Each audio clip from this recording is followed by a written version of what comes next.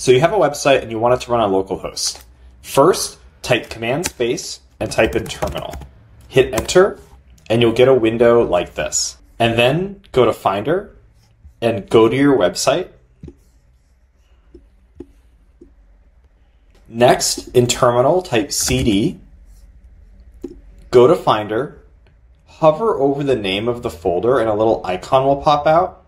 Drag that icon into terminal and hit enter. Run this command. If it says Python 3, then run this command.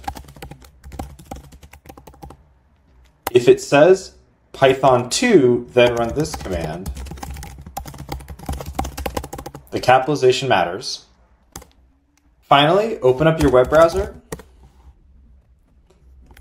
type in localhost 3000, and then boom, there's your website.